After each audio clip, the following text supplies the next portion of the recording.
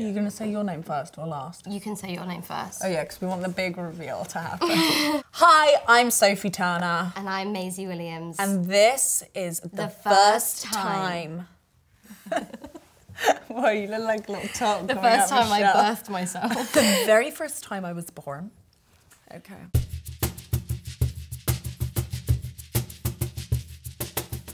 the first oh, time, first time. we met ourselves. Any sense. The first, first time, time. we met each other. Was at the auditions for Game of Thrones and we were screen testing together. There was just chemistry. It was a chemistry reading and there was undeniable chemistry. You know, screen test that actually kind of sounds like you're getting like screened like for an STI. yeah, fir- it was our screen test, our first screen test together. yeah, and it was really, really good fun. It was really fun actually. We became fast friends, and at the end of it, we both like hugged each other and we said, "I really hope you get it." Although Yeah. I already knew that you had it, but I just wanted to say it back to you. You know, Get it. if you get it, when Humbling comes through like this, he's gonna like get it.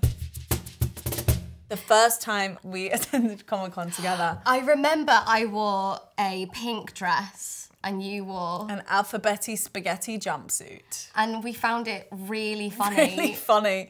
to keep saying, Sophie, you've got alphabetti spaghetti on your jumpsuit.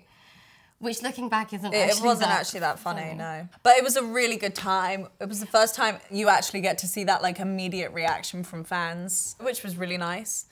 It was hectic, but it was fun. The first time I met a fan, I had been out all day at a local festival in Bath called Boom Festival. And then this person shouted, Game of Thrones! And it was the most exciting day of my life. I was like, I felt like the Rolling Stones.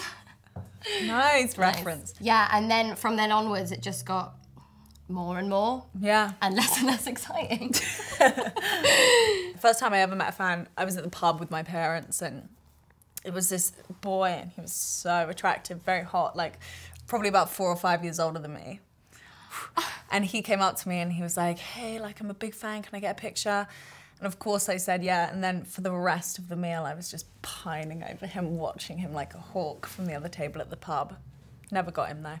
Never got him. I bet he's fuming now. Yeah, he's rolling in his grave. What? The first time we had a Game of Thrones sleepover, I think, was like Did we ever really have a sleepover in that Holiday Inn? I think we did. You know, season one they put us in a Holiday Inn. I'm not mad about it. It had a pool, it had a steam room. Yeah, I actually sauna. loved the Holiday Inn. I was dead happy with that. I was kind of mad that we moved. yeah, I know. that was when we had our first sleepover. And since then, we've probably had like well over 300. I'd I think say. I've spent more time in your bed than mine. Me too. No. I think the first time we oh. met George R. R. Martin was on set, right? No, I think it was at that hotel in Scotland. The pilot. Oh yeah, pilot, the pilot. we met George Yeah, in Scotland, Scotland. and it was clearly very memorable. Yeah, we had the best time. Oh, the first time we did an accent impression, I would say, is when we It first this- met Sean Bean. no, do you remember when me, and Isaac and all the mums used to go wiggly woo, Wiggly woo, there's a worm at the bottom of the garden, and his name is Wiggly woo. There's a worm at the bottom of the garden, and his name is Wiggly, wig, wig, wiggly, wig, wig, wiggly woo. Scottish. The first time I visited the US was shortly after the pilot. I went to get an agent there. But you went before the I've, show. I've no? been before the show. My, my family used to live in Chicago, so we used to go back every year just visit. But the first time we went together, that was really exciting. Yeah, it We- was our first paparazzi experience, and we strutted out of the airport. We did. I we were like, put on your sunglasses. so we in the embarrassing bathroom, now. like putting on our makeup, putting on our sunglasses, and walked out like for us, for us, signing things. Yeah, like really oh, embarrassing. Stop. and then I remember I tweeted after, and I was like, "Thank you so much for the warm welcome." You did not. yeah, I did. The first time I auditioned for a role was just before Game of Thrones. I auditioned for Nanny McPhee 2. That's right. I was watching that the other day, and I couldn't help thinking, God, Maisie would have been so much better in that role. Well, their loss. What about you? My first audition was like an open casting call for, um, what's it called? The Golden Compass. The Golden Compass. Ah, I auditioned for that, and I'm pretty sure I got down to like the final 3,000 or something. so, pretty good. again, their loss. Yeah. I also auditioned for a movie called The Lighthouse. I don't know where that went, but it was it. The girl who won it was the same girl that got the part in Nanny McPhee. She stole a role from both of us, but she was a very nice girl. Very nice girl. For sure. Ah, The first time we met Sean Bean, was it at the read through? yeah, it was at the read Yeah. through, but our parents were so embarrassing. So embarrassing. Like, Sean Bean. They're like, oh my god, that's Like, Sean Bean Mom, what are you doing? Very embarrassing. He was very nice though. He was. He's a very quiet man, so I couldn't hear him read any of his lines during the read through. Speak up, Sean, Jesus. Speak up, Sean. We're dead excited to be here. But he's lovely, Sean. Lovely guy. Loves a book. Loves a book. they should have got a still of that. Sean Bean on the set of Game of Thrones reading Game of Thrones. Uh, it was the best. Sean was sat in a little corner on the set like this the whole time reading Game of Glasses Thrones. That would have been great. I think the day that we actually discussed getting the matching tattoos that we have now was the day of. Yeah. We um, woke up. We had the best week. Do you remember? We were in Belfast and we weren't working at all, so we just We got up, we had some breakfast at the hotel. we'd get got drunk ready. every day and then go and get tattoos. We went to Granny Annie's. Granny Annie's. Two for one cocktails. Two for one cocktails, the Smashed best. them. Went shopping. Got mm. matching sunglasses and Oh, backpacks. oh, we did! Yeah, yeah, yeah. Moschino backpack. Yeah, Yeah. yeah, yeah. But that was the best week. And then in the evening, we went and watched the Red Hot Chili Peppers. We did. It was a really good day. that was the best. I don't know that I've ever had a day as good as that. No, I agree. That was our best friend day ever. Yeah. The first time we used the term Mophie. I think it was shortly after I saw one of those Mophie phone cases. Yeah, I think it was. And was like, what a terrible name for a phone case. What a great name for us.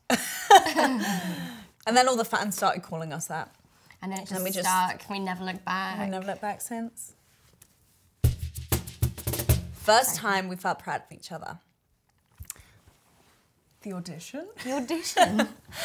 But also, I feel proud of Maisie, like, not just in terms of like acting, but I feel proud of her every day because since the day I met her, the growth. I, I'm not just saying this, like, but the growth of her tits is unbelievable. No, her, her growth as a person is like astounding to me. Met when she was 12, she's nearly 22, and she and I have gone through some real ups and downs in our lives, but like seeing Maisie today and seeing what a strong woman she is, that's when I feel the proudest of her. Thank you. That's so nice. I'm not fucking around. I, I know you're it. not. I don't know what to say. She's just embarrassed. It's fine. and I feel so proud of Sophie all the time. shut up. You don't.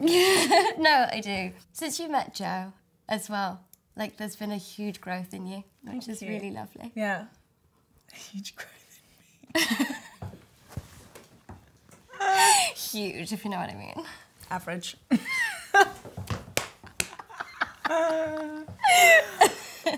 we'll cut that out. Yeah. When I was younger, I felt ugly next to Sophie. I felt ugly next to you when I was younger, but now I feel like better. And I still feel like shit, so it's good. I, what a shady question. no, Jesus but you know what? I felt jealous of Maisie because she is one of the best people with like interacting with people. She walks into a room and she like lights up a room, and I walk into a room and I'll immediately go to like a corner and try and get as drunk as possible so I don't have to talk to anyone. So I get envious of like her social skills and and how like well she interacts with people and how bubbly she is and she's so easy to talk to. So I get jealous of that. Well, there's no need to because it's completely fake. you know what was really awkward? The first time that we worked together again. That was awkward. Because for so long we had like been doing our job away from each other. like we had to walk into the room and like look at each other and be like Like everything that I did, I was like, God, this is embarrassing because Sophie's watching me like be an actor. I know, and same here. And then we just we couldn't get a scene done. No. The first time that I got really embarrassed on set was when I had to do my period scene on like season one of Game of Thrones. Yeah, that's embarrassing. And I was like, all of these boys that I fancy at school, they're all gonna see me like having this period scene and and I have blood down my legs and I'm like walking around set like an awkward 13 year old like ooh. And then the director would be like, more blood.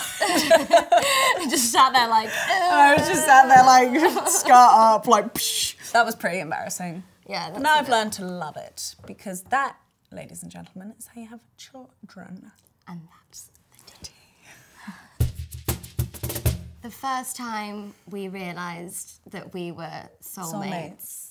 we used to do this thing where Oh no. put our fingers in each other's mouths and like Why did we do that? and we used to pop each other's spots, and I would like pick her nose. And do you remember we used to lie in bed and I used to be like, we have a lot of videos of that. yeah, we used to put our fingers in each other's mouths and just like, Does that make you a soulmate? I don't know. I don't know, but it makes you very comfortable with the other person. Taking baths together, Take, yeah, taking baths together, showers together. that's soulmate material. That is soulmate material. We've done everything together. Wait, the show's ending. Kidding. Um, could have gone with that bit a bit longer. Sorry. The first time I realised that the show was ending was, I don't know, like when my mom had like finished the books. I think the first time it really hit me though that the ah. show was ending was at the read through for the final season. Yeah, you cried. I cried. I didn't cry as much as Kit though. no, Kit was What a pansy. No, boys can cry. I've heard rumours. But it was like at the end of the final episode. Normally it just says like end of season five or end of season six, and it just said end of Game of Thrones, and everyone was just like, psh, bored. Yeah, it went down like a lead weight, you know. It was just like horrible. this silence. And then all of a sudden everyone Like- gets up and like ah! standing ovation for the producers and creators. And everyone's going, ah! And everyone's going, Maisie Williams was the best thing in this show. I cannot believe Sophie Turner's debut! and uh. then we were like, guys, stop. It's And then we went to the pub and played pool and forgot all about it, and now we don't care. So true.